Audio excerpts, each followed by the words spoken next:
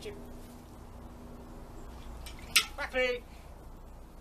Yes, a good boy. Boy.